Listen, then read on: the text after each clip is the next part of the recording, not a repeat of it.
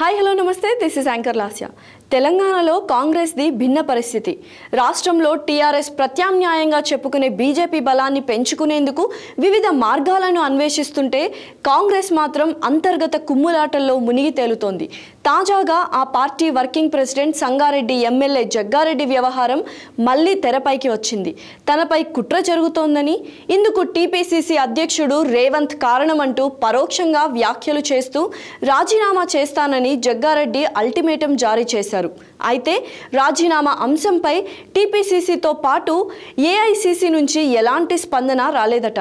గతంలో పార్టీని వీడిన నేతలను తిరిగి రప్పించేందుకు రేవంత్ ప్రయత్నాలు చేస్తుండగా ఇప్పుడు వెళ్తున్నా అంటూ ప్రకటించిన జగ్గారెడ్డి అంశంలో ఎందుకు మౌనంగా ఉన్నారో ఎవరికీ అంతుపట్టడం లేదు.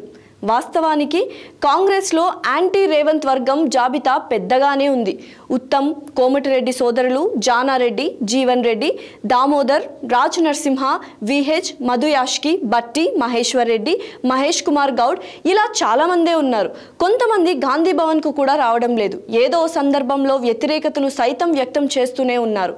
ఇలాంటి సమయంలో జగ్గారెడ్డి వ్యతిరేక స్వరాన్ని పెంచితే ఏ ఒక్కరూ ముందుకు రాలేదు. టీపీసీసీ ప్రకటన తర్వాత తరచూ తిరుగుబాటు జెండా ఎగరేస్తున్న జగ్గారెడ్డి ఇటీవల రాజీనామా చేస్తానని ప్రకటించినా ఏఐసిసి నుంచి పిలుపు రాలేదట. అయితే ఆయన్ని కూల్ చేసేందుకు టీపీసీసీ మాజీ అధ్యక్షుడు ఉత్తమ్ చొరవ చూపి తాను ఢిల్లీకి తీసుకెళ్ళి పార్టీ పెద్దలతో మాట్లాడిస్తానని హామీ ఇచ్చినట్లు సమాచారం. కాగా కోమటిరెడ్డిని కూల్ చేసే విషయంలో రేవంత్ రెడ్డి వ్యూహాత్మకంగా వ్యవహరించిన జగ్గారెడ్డి విషయంలో మాత్రం ఎలాంటి ప్రయత్నం చేయలేదు. జగ్గారెడ్డిని టార్గెట్ చేయకుండా ఆయనను బుజ్జగించకుండా వదిలేయడం అన్నది రేవంత్ స్ట్రాటజీలో భాగంగా పార్టీలో చర్చ జరుగుతోంది.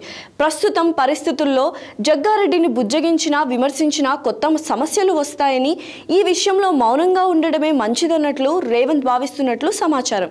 ఈ నేపథ్యంలో జగ్గారెడ్డి లక్ష్యం ఏమిటి అనేది చర్చకు దారితీస్తోంది. పార్టీలో ప్రచారం జరుగుతున్నట్టే టీఆర్ఎస్ గూటికి చేరుతారా? ఒకవేళ చేరితే అక్కడ ఇమడగలరా? అనే ప్రశ్నలు ఉత్పన్నమవుతున్నాయి. త్వరలోనే రాజీనామా అంటూ ప్రకటించిన ఆయన ఆ తర్వాత తగ్గడం. రేవంత్ కూడా ఇది మా కుటుంబంలో సమస్య. టీ కప్పులో తుఫాన్ లాంటిదంటూ రేవంత్ ప్రకటించడంతో జగ్గారెడ్డి పునరాలోచనలో పడ్డారు. కాగా జగ్గారెడ్డి పార్టీలో ఉన్నా లేకున్నా పెద్దగా జరిగేదేమీ లేదనే అభిప్రాయంతో రేవంత్ ఉన్నట్లు పార్టీ వర్గాల్లో టాక్.